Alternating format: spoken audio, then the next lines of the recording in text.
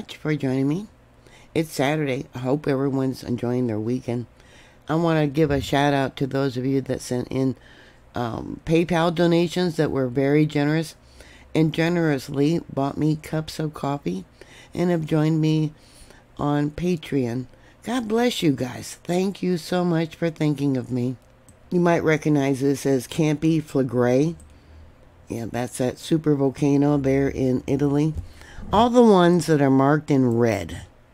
Okay, these are earthquakes that are less than one kilometer in depth. They're very shallow.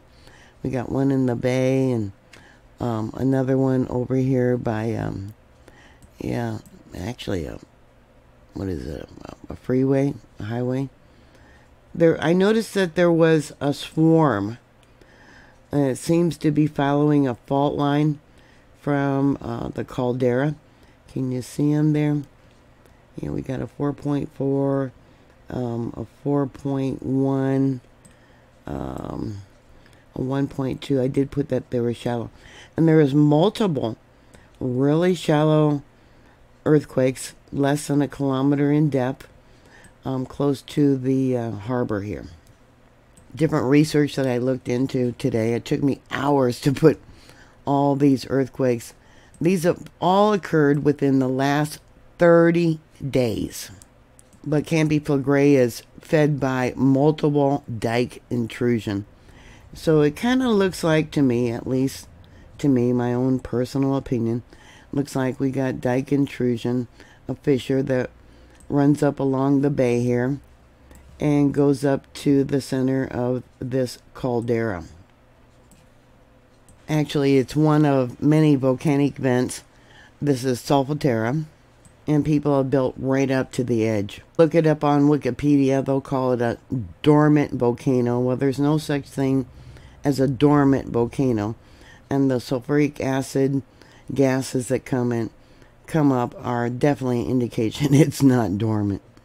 So what I did here just recently was draw draw out a red line so you can see what it looks like to me as a dike intrusion. A fault where magma is coming up, creating pressure, creating these um, small but very shallow earthquakes, less than a kilometer. So let me zoom in and we'll follow it along.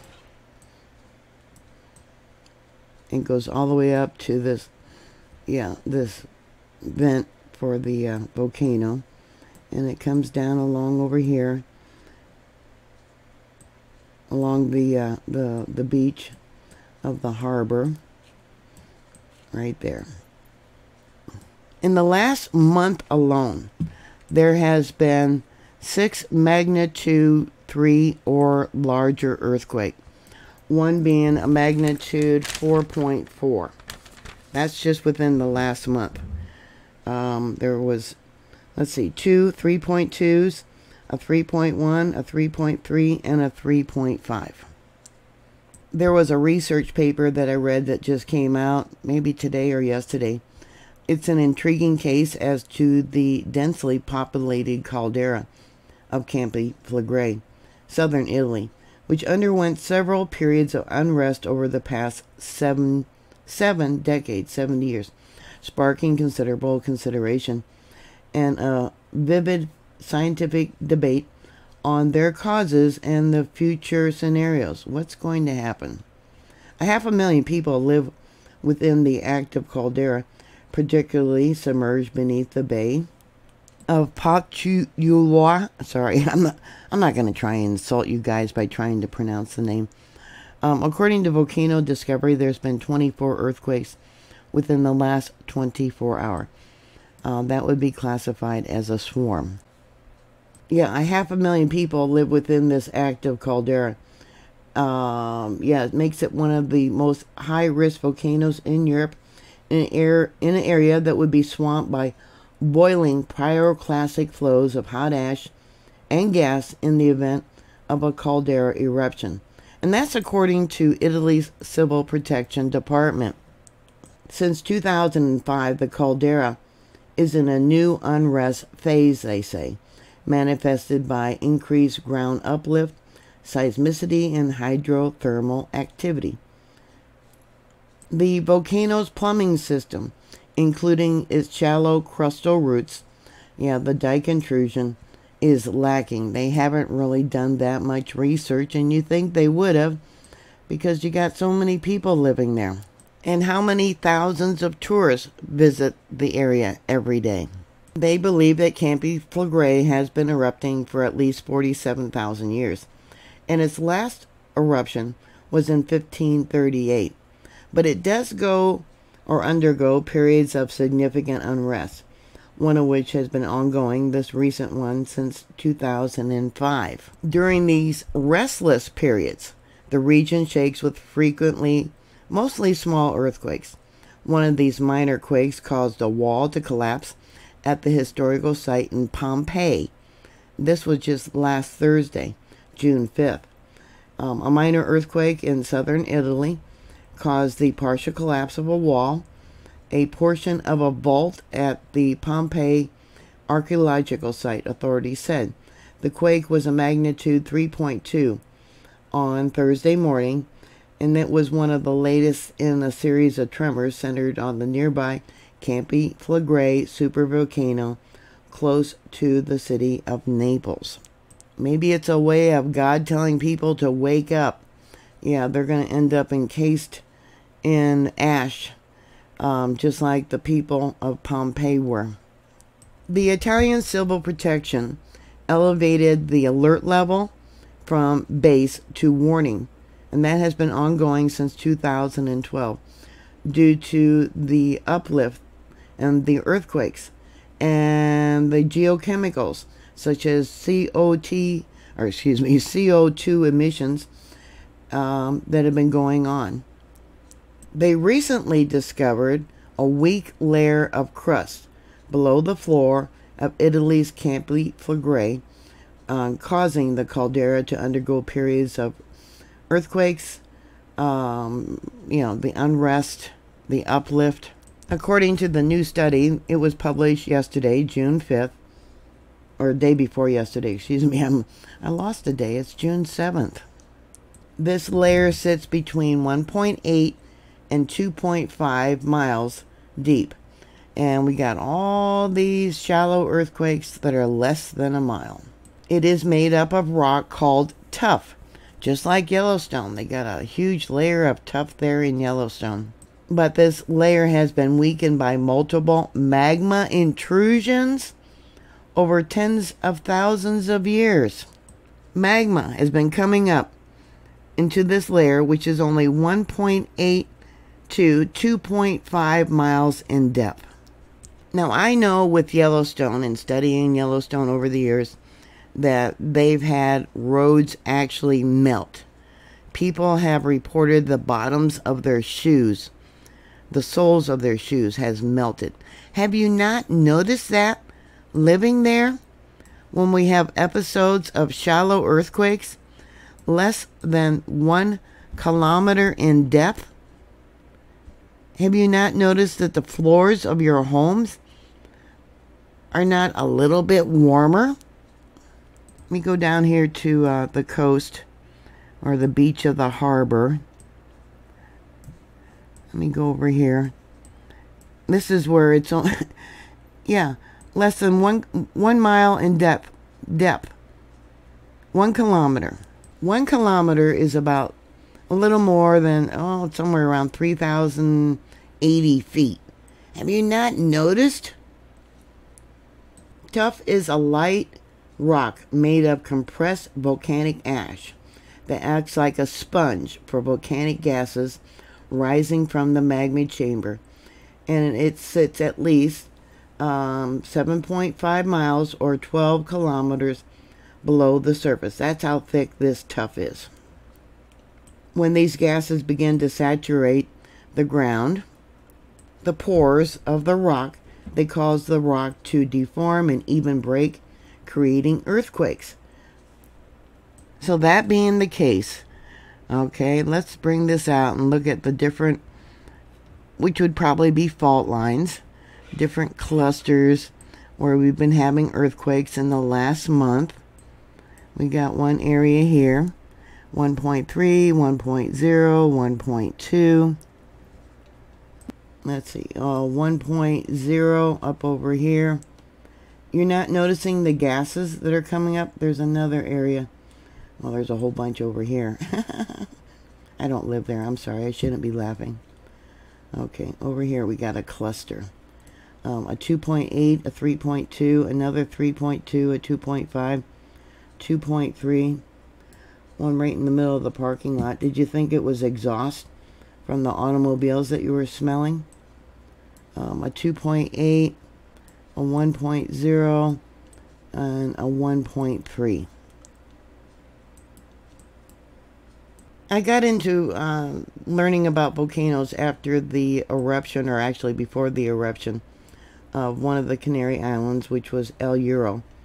Uh, prior to the eruption, which took place under the water, under the coast there of La, uh, La Restinga, you can see the discoloration. But prior to that, um, this area was all evacuated because of the gases that were coming up and they were making people sick. The first sign of the eruption that was happening was that dead fish were rising to the surface of the ocean. Because the government of Spain had live gas readings um, posted there on the island, I knew about two weeks before the eruption that it was coming. But I don't know of any uh, live gas reading that is available to the public there at Campi Flegrei. I don't know of any of them that are, are publicly available. They only had about 80 people that they had to evacuate from La Restinga compared to a half a million. The politicians and the local media really downplayed the coming threat. It ended up erupting in an area where they completely did not expect it to erupt. You know, um, unemployment was fairly high, and they really depended on the local fishing and tourism to keep the economy growing. La Restinga was actually evacuated twice. Um, people demanded to be able to go back into their homes. They were willing to risk uh, their lives and the health effects, which was, you know, the mild dizziness, um, yeah, maybe, um, yeah, higher blood pressure, you know, effects upon the body. They believe that the presence of a multi-level storage system here at Campi Flegrei with a deeper um, reservoir and a shallower zone. Um, it's a sill.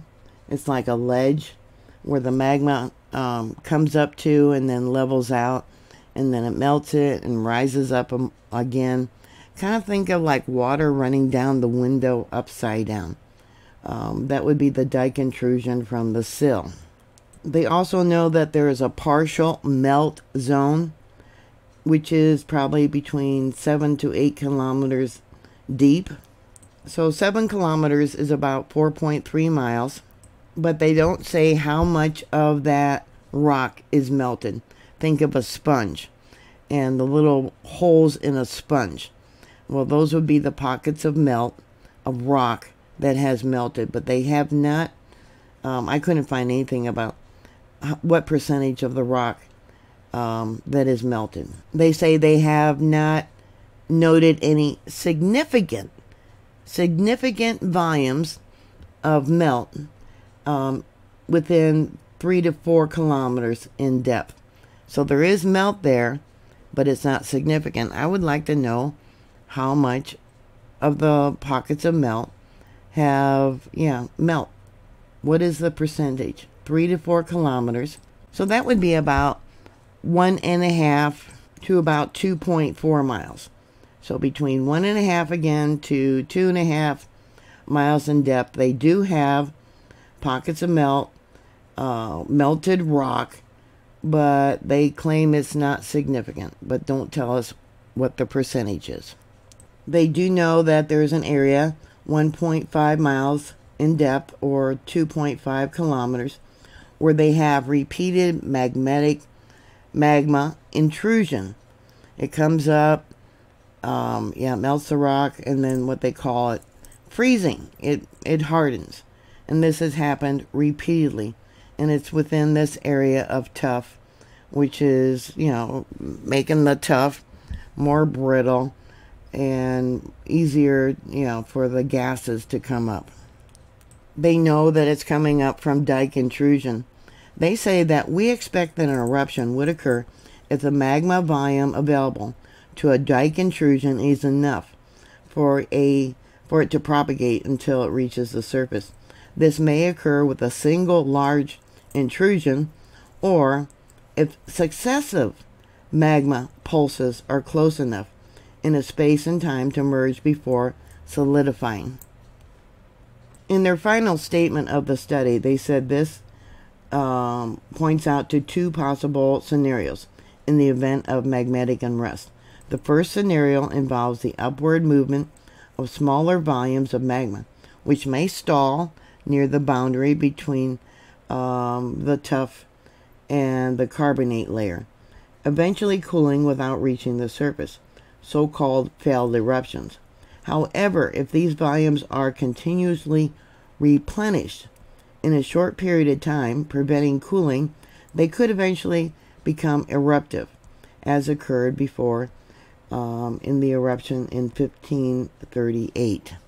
They also believe that the second scenario involves a large volume of magma that directly rises up, ascends from about uh, from around oh, 4.9, almost 5 miles or 8 kilometers in depth, potentially reaching the surface.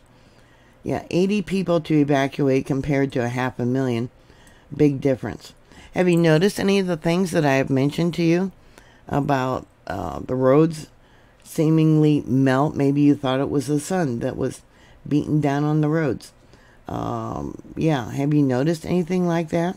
Yeah, it is not a dormant volcano. Please put your thoughts and comments down below. Thank you very much for watching. Please like, share, and subscribe. And I will talk to you later. God bless you. Bye.